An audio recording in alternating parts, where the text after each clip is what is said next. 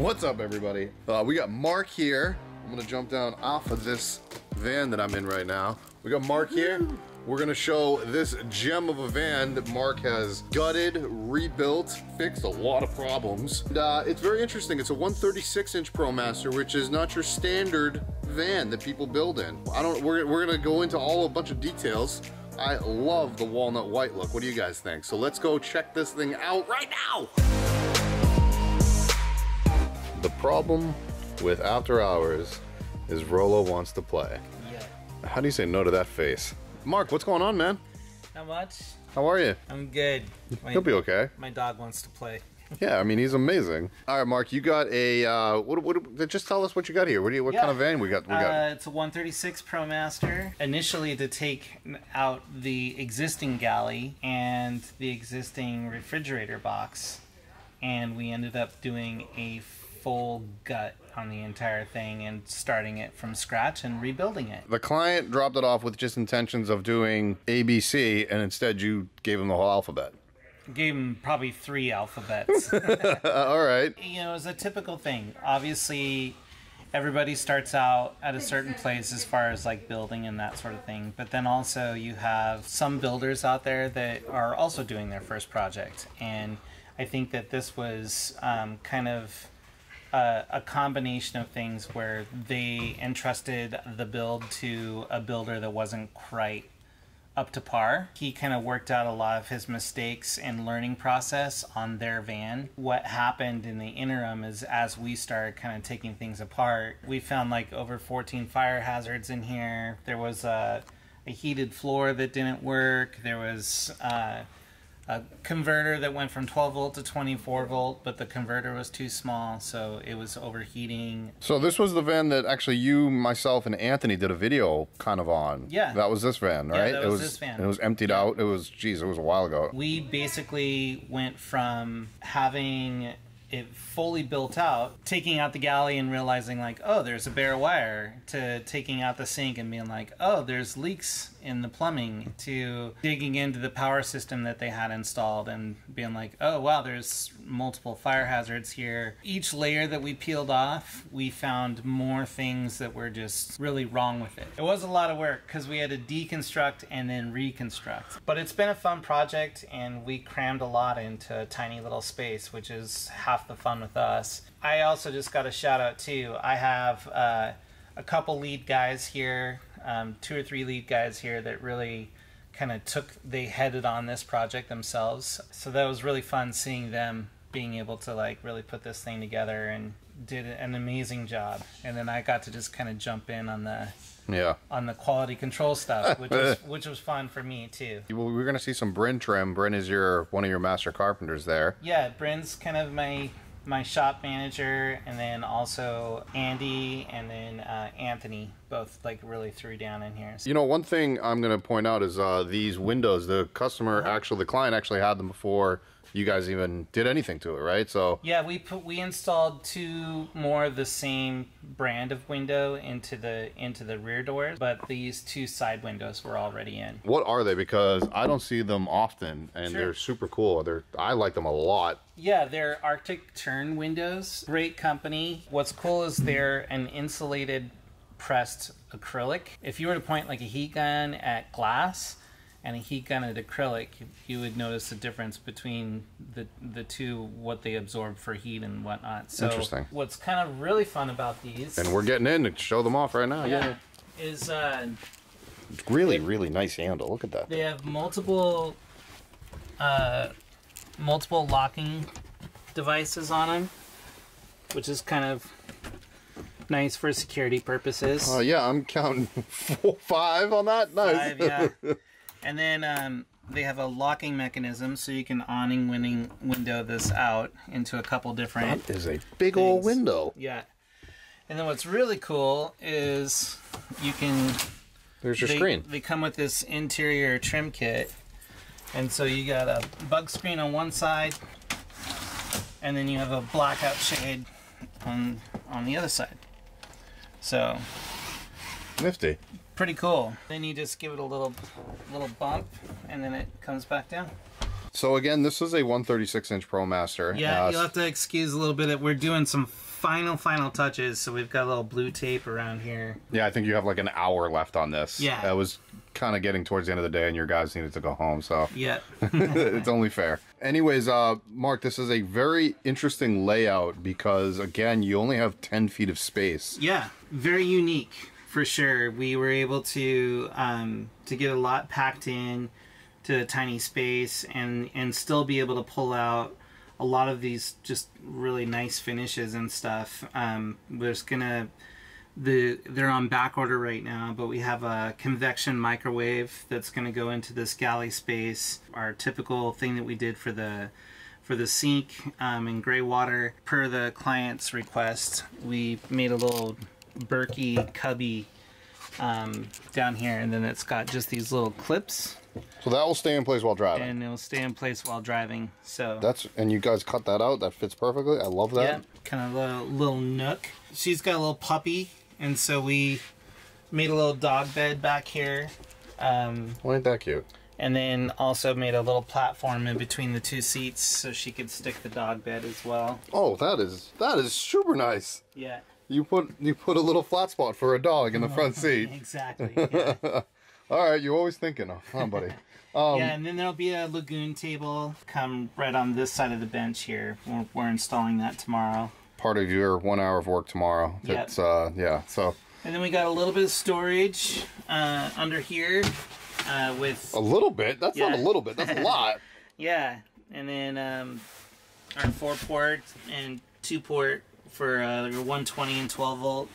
And then over on this side, um, we have a little. She just wanted basically like a little honey bucket. Yeah, nothing special for a toilet, Yeah, but that's so- perfect. That's all you need. But this is a little composty toilet thing, and uh, put the little ring down. Oh, look at that! there So it's not going to move out of so it won't move. Yeah, That's kind of nifty, huh? yeah. Do you know if they're going to be uh, the client's going to be living full time in this, part time in it? They're this is gonna be kind of like their little getaway vehicle. They got a whole bunch of toys, and so they decided to get a little cargo trailer Yeah. that will house their bicycles, kayaks, um, paddle boards. You know, kind of all the other things that they want. So they're pulling a miniature trailer full Yeah. of toys behind Full of toys That's awesome. That's a great idea. The the little 136. Oh, and then as you can see, like because we're we did a couple different things on the layout, there's still like plenty of space in here. Yeah, you know? I mean, I'm I'm actually like You're a good, good six feet apart. I was about to say six, seven feet. So yeah, Yeah. This is interesting. This is a refrigerator that I don't normally see. She actually picked this up from um, a company called Norcold. They're Mm-hmm. out of Norway. And so she actually got this refrigerator from Norway. They're actually bringing these over now. So this is a refrigerator that we offer. I haven't had the chance to really vet it yet, Mm-hmm. but it's a sweet little fridge. It's got lots of space. They kind of cut out a little bit on the freezer space. Oh my! So yeah, you think that freezer goes back, Yeah, but the compressor, I'm assuming, is right there. compressor is back there, yeah. Nice big, big vegetable drawers. Um, you know, little trays and It's just an interesting design because you normally see them like you know shorter underneath cabinetry. This is Yeah. very long, kind of almost like it would be in a closet yeah. style. And we were gonna do like a full column here and actually try to do more, but then she was really wanting to have just kind of like another little tray or surface area. And then we put in this uh, little top shelf, so we have like two different trays here to like put different Yeah. things in. And you guys went with your classic Bryn trim. Yeah, that we did. And then on this side, she wanted a place to put her little pot, so we stuck the outlet up here. You have an outlet up there Yeah. for that. And then the pad for the for the tea kettle, the instant water heater is right there. Isn't that nice? We have our gray water tank and and then just the back side of the Berkey Is it drained straight down? How does like the gray? uh, goes right into a seven gallon gray water tank. The one that was under there. Yeah, we. That's something that she's just going to end up carrying out. Gotcha. Um, there's actually 24 volt heated pads under here um, for yeah. electric pads. that um, Anthony spent like two days fixing. Yeah, yeah, we had to fix them because the guys that put the van together actually like threw bolts through the middle of them. Another electrical fire hazard. Yeah. Um, Oops. Uh, yeah, whoops, indeed. um, we're ready to start building in here, and we're like, well, the only thing we haven't removed is the floor. Let's check it out. And then we did, and then on the whole underside of the floor was this like sticky mat um, that is does a little bit of heat. And uh, but there were bolts stuck through all of the heating elements, so if she would have turned it on, it, it would have been a fire hazard. But what's cool about it is it does warm the floor. We did we did try that out. Unfortunately, the electric consumption on that floor is a lot, so she can only heat it for about an hour before she has to turn it off. And well, actually, you've gone there, so why don't we finish it with the batteries? What do you, what does the the system have? There's uh 400 amp hours of battery. So you're telling me 400 amp hours can only run that electric floor heating pad for give or take maybe an hour, maybe a little bit more. have anything else running in here and was just strictly running the floor and nothing else, she'd get about two and a half hours. We we actually tanked the batteries. So this is not your check. standard what you put in your other vans, the hydronic heated floor system. Yeah, this is This is very different, everybody. this is like a warm floor, whereas like the hydronic van life tech system Right. is actually a radiant heat system and a hot water system. and hot water system Right. and and also a forced air system. Right. So that's So- the major difference between what you put in, you know, uh, some of your other builds compared to Yeah. a just a heated pad. Just a yeah this is gonna make it and so that you have uh, a warm floor if you laid in bed for an hour or two hours and then you put your feet down on the floor uh, it wouldn't be freezing cold. It would just be warm. But it's not a heat source for the entire van. Yes. whereas like the hydronic heat that's actually like a, a heat source. That that heat transfers up through the cabinetry and everything which is why we really kind of move towards that we only put this into this van because it was already installed Right. and we were just trying to appease her and Well, that's another thing that. Nomadik Customs does is you guys listen to the clients, whatever the clients want, you'll do. Nice even though you buddy. we try to find our best way around sticky situations this van was very much it, it was done extremely wrong unfortunately it was someone who built vans and then it came to us with uh, replace the galley help us figure out something for the fridge to make it look cool and then we ended up gutting the entire thing I think the client is going to be extremely happy that that you did all of this. Me too, and I just want to make it clear too that I I don't poo-poo anyone that's trying to do DIY projects or anything like that, but when someone's taking your money, man, vet the builder. This is an example of where they spent twenty twenty five thousand dollars. All of that went out the window. Right. And I mean, you and I have sat down and done a video about how to vet a builder. You know, I don't want to go off topic Sure. too much, but uh, you know, you have this interesting bed set up in the back here. Yeah, Was yeah. this this was actually a collaboration of design layout from Nomadik and the client, I believe, right? Yeah, her and her partner have a lot of fun traveling around together, Sure. but her partner doesn't join her for um, a majority of, of the time. And then this is actually her daily driver. Oh, Um, nice. So she's Perfect actually size. yeah. So she's actually picking this up to cruise down, see her mom for a couple weeks. You know, heads back home and and grabs her partner off to the next adventure. So So you're saying right now it's a twin. yeah, so, Okay. so it's a little bit smaller than a twin. It's about uh, 32 inches instead of 36 inches. Oh, I did, okay. Did not even realize. So And 32 then- inches wide. Yep. And then actually this then pulls out. And uh, Ain't that nifty? and then this top cushion just comes and slides in. And So then to make a, how big is this bed now? now this is 52 inches and a full size is 54 inches. And just for everybody that knows my channel well, I believe my, the width of my bed in my Murphy bed Sprinter was 52. Yeah, So it's this is this is very adequate for two people. it really is. I mean, let's face it, guys. We're in the end of the day, we're living in vans, or we're, we're traveling in vans, we're sleeping in vans. It's not the most easiest thing to come up with a bed system. I think you did a great job with this, Marc. Yeah, it's pretty cool. Like I said, we had to consolidate space or make an effort to really consolidate space. So, pretty sweet how it worked out. Um, And that was it. That just slides just like that. Huh? it just all slides back in and then latches down. Damn, that walnut is so pretty. And for everybody that um, this is not stained like poplar. This is not a stain birch. Yeah. This is actual walnut. Yeah, If we- I if uh, that is correct, right, Marc? Yeah, it's definitely the hardwood. We we don't do well uh, doing stains here. No, you you don't. You don't like to. Um, so if everybody knows what the cost of walnut is, it is not a cheap hardwood. It is a very very nice, beautiful hardwood. Yeah. Um, and then this stuff, guys, this is not easy to do. I've obviously said that many many times. That is Bryn trim. Well, and what's great, Bryn and Andy really put some time in. They match the grains. I mean, that's that's just carpentry. That's it's what Um, Yeah. should carpentry do, right? And then these all, you know, have the Is this the light? stand-up arms. Yep. Cool. under cabinet lights, and then we also have these guys here, little reading lights. Um, that do all sorts of fun stuff. Oh, nice. We've Such a got big shelf. two or three of those around. I want to Um, put this back down so we can. Yeah, Thanks.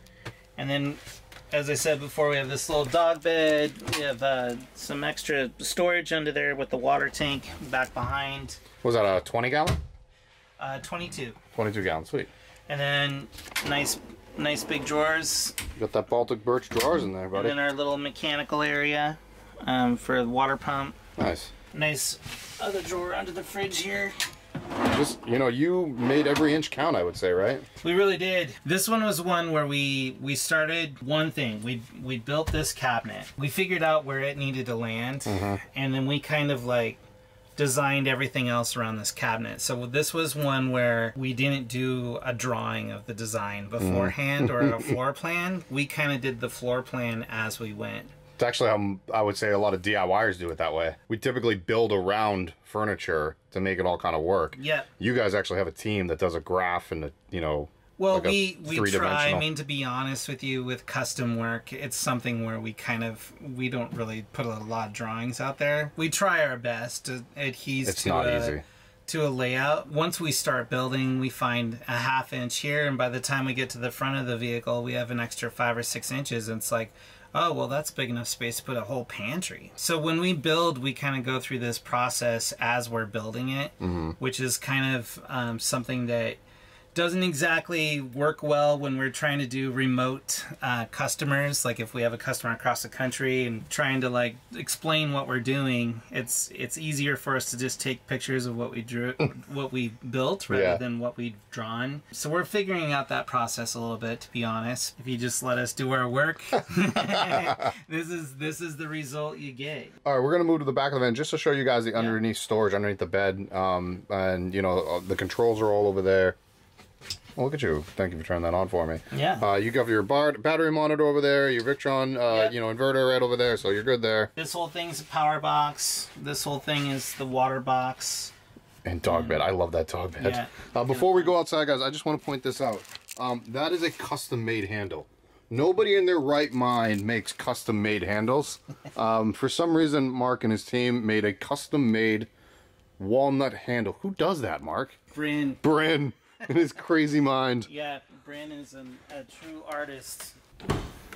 A little garage area. Um, but we have the second half of the power box, uh, water box with the little water gauge right there. And you still even made a storage area up here. And then we still, yeah, we're able to get a little cubby for like the short power extension cord and oh, nice. Yeah. water hose, that sort of thing. Is this lighting for the underneath or yeah, so this is actually oh the lighting for inside? Okay. house lights. We always put three switches in: one behind the driver, one on the side door, and one in the back. So we have Nice. three points of being able to turn on the house lights. And these are the windows that you guys installed. Even Yeah. the other two were already yeah, and these there. are again the the Arctic terns. Those are so the- nice. Yeah, super fun. Extra little trim pieces and stuff. Oh, that's right. You said you were going to put a walnut yeah, piece. so we have a walnut piece going across here. We have a little piece that's going over that on the back side of the controls. Tiny little bit unfinished, but we're pretty much there.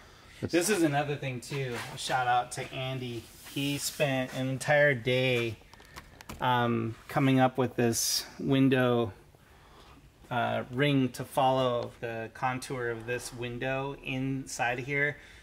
And watching him put this together was like part frustration, part comedy, and then and then all sorts of like, wow, I'm kind of proud of that guy because uh, he really. I was like, oh, just throw some walnut up there. We'll call it good.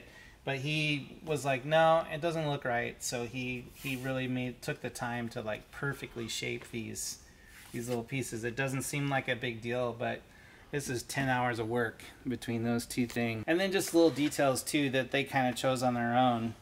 Just putting the white panels down below, the walnut panels up above, just to kind of match the rest of the van. So Absolutely. So when the doors are shut, that looks like it's Mm-hmm. part of the whole van, right? I can't even tell you how proud I am of my team on this one. Every, everybody here just really threw down. And then, like I said, Bryn and Andy and Anthony and, and Mary as well, they all Yeah, Mary was also involved in this. they Yeah. really took this one on and and it was a bear it was a bear i can't be prouder of it i work with some amazing people I know the client is going to be very, very happy with their product in a couple days when they pick it up, but really, really nice job, buddy. yeah thank I'm you super Sorry, excited. i'm kind of rummy it's been a long day It's been a long day. It's been a long, actually, couple weeks for you, and you got, you know, obviously Yeah. there's there's other vans in the shop right here. Yeah. Um, and I mean, you're always working, and I think you have another one in the front over there. So it's another like, one in the front and a whole bunch on the other side oh, that's right. You have. I'm just gonna take a quick little gander. Look at that, guys. This is not. yeah the shop is in shambles at the moment It's okay, man. It's okay. dude the thing about it is that all of us are still having a really good time that's the part that's fun And uh, shout out to you. You were you were featured on PBS NewsHour. Yeah, that was uh, that was a surprise. One of our clients just gave us uh, a shout out, and they reached out to us, and it was funny. I mean, they had me in the intro. It was an awesome cool. segment. Um, if you guys haven't got a chance to watch it, it's on it's on the the P, it's on YouTube now. Um, Yeah. but it's a PBS PBS News NewsHour. Hour, Yeah, it's October first. October first. Okay, great. Yeah. Um, it was a two part. They're doing a series on the retirement community, looking for alternative ways to make money during kind of the crisis that we've been experiencing. It's pretty amazing. I got to watch it, and you know, I, I actually just said it because I wanted to praise myself because uh, some of that footage was mine. So Yeah, they gave me credit. They gave me we were credit. we were also very thankful for. But yeah, that was just a fun little. It was great. Little blip. I've had my 15 seconds of fame now. Thank you so so much again for showing this off. Yeah. Dude, thanks, thank you too. Thank Yeah, man, you anytime. for coming in and you know showcasing our stuff. Have a lot of pride in what we do. We have a lot of fun doing what we're doing, and so it's really great to like actually have a vessel for that to be seen. Because otherwise, we'd just be nerding out by ourselves in here. You know? Which we would have done anyways. Yeah, totally. Totally. Uh, Marc, uh, we're gonna see you again soon. Thank you again so much, Yeah, thank and you. talk to you later. All right. Later. Bye.